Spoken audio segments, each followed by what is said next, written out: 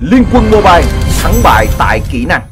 Luyện ngục đến từ vị trí của Red hất tung được Bui Bui đã đặt sẵn ra thần môn và lá về được với thần môn. Trong khi đó thì ADC quá dũng mãnh với quân bài lữ bố này mất đi cho mình pháp trận thần kỳ đến từ ZF rồi. Vào ngày mùng 10 tháng 4 tới đây, siêu kinh điển lượt về giữa hai gã khổng lồ Team Flash và Sài Gòn Phantom sẽ chính thức được diễn ra. Đây là trận đấu mà các fan hâm mộ Liên Quân Mobile chắc chắn sẽ không thể bỏ lỡ bởi chất lượng chuyên môn cao cũng như tính chất quan trọng ảnh hưởng đến ngôi đầu của bảng xếp hạng. Cuộc đối đầu này còn chứng kiến màn so tài thú vị giữa hai người chơi đường rồng xuất sắc bậc nhất đấu trường danh vọng thời điểm hiện tại, Red và Dain. Đầu tiên, chúng ta hãy điểm qua bảng thông số tổng của hai tuyển thủ này sau 10 vòng đấu đã diễn ra. Có thể thấy cả hai đều đang sở hữu bộ chỉ số vô cùng ấn tượng như mạng hạ gục, KDA, sát thương trên phút. Còn bây giờ, hãy cùng đi vào so sánh chi tiết. Sự thay đổi meta đòi hỏi những người chơi đường rồng buộc phải thích nghi để theo kịp xu thế. Bể tướng của họ giờ đây không chỉ gói gọn các xạ thủ dạng carry team mà thêm vào đó còn là những đấu sĩ có khả năng chơi tốt ở khu vực đường này. Điều này sẽ giúp cho các đội tuyển có thể đa dạng hóa thêm nhiều chiến thuật thay vì việc phụ thuộc quá nhiều vào khả năng xả sát thương ở giai đoạn cuối trận của những người chơi xạ thủ. Ref và Daim là hai trong số ít các tuyển thủ đang đảm nhận tốt nhiệm vụ này. Với xuất phát điểm ở vị trí đi rừng, Red không khó để làm quen với các chất tướng dạng đấu sĩ như là Iana, Ryoma hay Superman. Thậm chí Iana trong tay Red còn đang nắm giữ tỷ lệ thắng tuyệt đối là 100% sau 3 ván sử dụng. Còn với Daim, vào thời điểm cách đây khoảng hơn một năm, thời còn khoác áo IGP Gaming hay Heavy, người chơi này luôn bị đánh giá là khá yếu nếu phải sử dụng các chất tướng không phải xạ thủ. Tuy nhiên, sau khi đầu quân cho Team Flash, khuyết điểm của Daim đã dần được khắc phục. Những đấu sĩ như Superman, Richter hay Malok cũng được luyện tập rất nhiều. Tuy nhiên độ hiệu quả thì chưa thực sự quá cao. Thống kê chỉ ra rằng ở mùa giải năm nay, trong 5 ván Daim sử dụng đấu sĩ đi đường rồng thì Team Flash chỉ có được hai chiến thắng. Như vậy có thể thấy, nếu xét về độ đa dạng tướng, Rest có vẻ như đang là người nhỉnh hơn đôi chút. Yếu tố tiếp theo để đánh giá về một người chơi xạ thủ là khả năng xả sát thương trong giao tranh. Về điểm này thì phần thắng lại nghiêng hoàn toàn về Daim.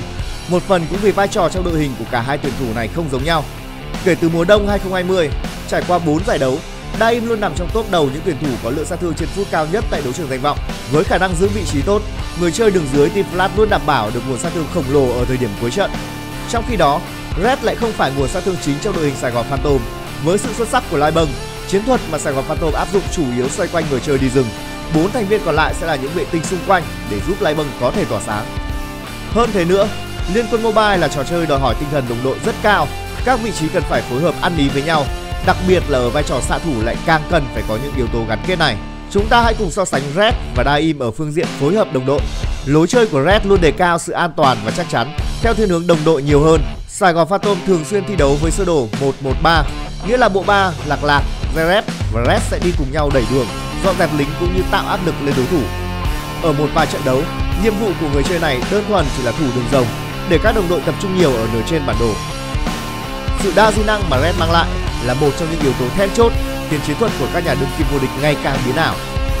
Dain thì khác, rất giỏi trong việc tạo đột biến, chỉ cần một khoảnh khắc xuất thần trong những tình huống quyết định cũng có thể đem lại chiến thắng cho team Flash.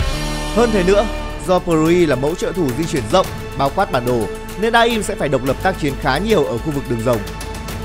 Nhưng cũng chính vì quá tự tin ở khả năng xử lý cá nhân của mình mà đôi khi Daim có những tình huống thái quá, khiến cho lợi thế trước đó trở thành con số 0.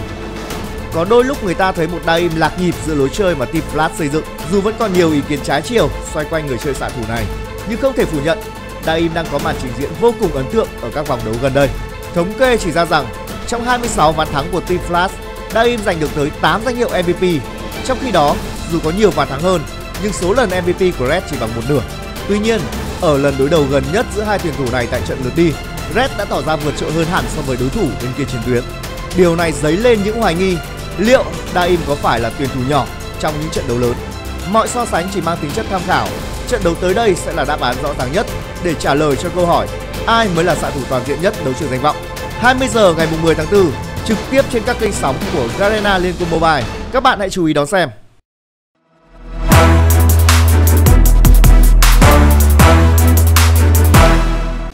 Lái ngay fanpage Cao Thủy Liên Quân và subscribe kênh Liên Quân Mobile Esports Garena để cập nhật những tin tức mới nhất và những trận đấu esports đỉnh cao.